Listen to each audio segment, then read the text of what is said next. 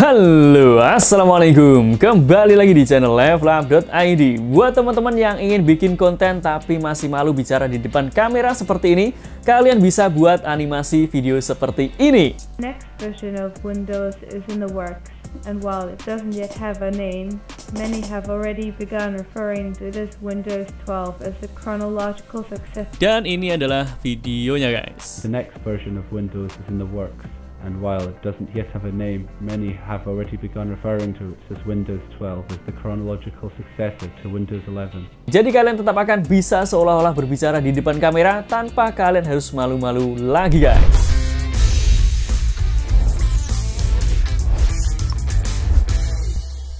Kalau di video sebelumnya kita sudah pernah share ke kalian cara membuat sebuah animasi video dengan cara yang berbeda, kali ini kita akan share dengan cara yang lebih mudah lagi menggunakan AI lagi, yaitu dari Fitnos. Ini merupakan sebuah website yang bisa teman-teman gunakan menjadi sebuah animasi bergerak, jadi kalian bisa gunakan foto kalian, kalian bisa gunakan sebuah karakter atau kartun. Hal ini akan sangat bermanfaat buat kalian yang baru ingin bikin konten atau kalian ingin buat sebuah presentasi unik, kalian bisa tonton video ini sampai selesai. Dan tidak usah lama-lama lagi, langsung saja kita mulai tutorialnya.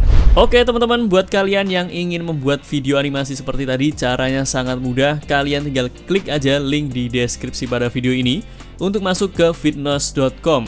Kemudian di sini kalian tinggal langsung sign up menggunakan akun Google, Facebook, atau LinkedIn yang kalian miliki. Selanjutnya kalian bisa langsung lihat tampilan dari Fitness ini sangat simple. Di sini kalian juga bisa lihat sudah ada beberapa foto yang bisa langsung kita gunakan.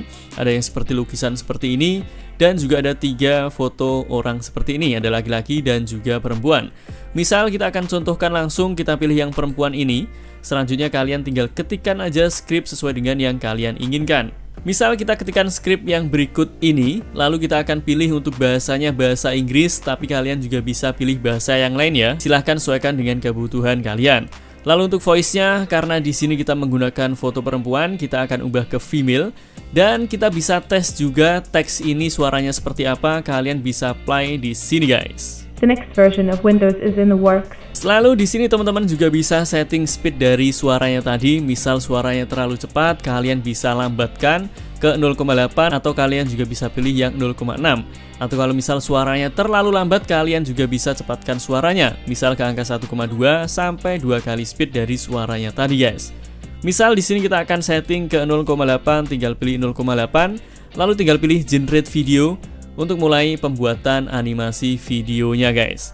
Dan di sini kalian tinggal tunggu saja nanti link download videonya akan dikirim ke email yang sudah kalian registrasikan tadi. Dan berikut hasil animasi video yang sudah kita buat dengan Fitness tadi guys. Next version of Windows is in the works, and while it doesn't yet have a name, many have already begun referring to this Windows 12 as the chronological successor. Jadi sangat mudah untuk membuat animasi seperti itu menggunakan fitness.com ini. Kemudian kita akan coba menggunakan foto yang kita miliki. Misal di sini kita sudah punya sebuah foto seperti ini.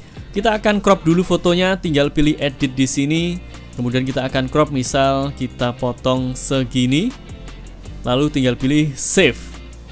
Setelah itu kita akan hilangkan background dari foto kita ini guys. Caranya kalian buka tab baru dan masuk ke remove BG Silahkan kalian masuk ke remove.bg Setelah itu pilih upload image Dan silahkan upload gambar atau foto kalian yang ingin kalian hilangkan backgroundnya.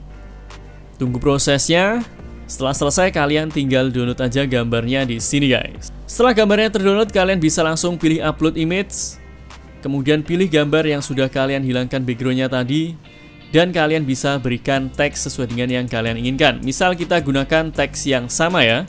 Untuk voice-nya kita ubah ke male atau laki-laki dan kita tinggal play dulu suaranya. The next version of Windows is in the works. Kita akan setting speednya ke satu kali dan tinggal pilih generate video. Kemudian tinggal tunggu link downloadnya dikirimkan ke email yang kita gunakan. Dan ini adalah videonya guys. The next version of Windows is in the works, and while it doesn't yet have a name, many have already begun referring to it as Windows 12 as the chronological successor to Windows 11. We're already beginning to hear leaks Oke teman-teman, jadi seperti itu cara untuk membuat animasi video seperti yang sudah kalian tonton tadi. Semoga video ini bermanfaat untuk kalian.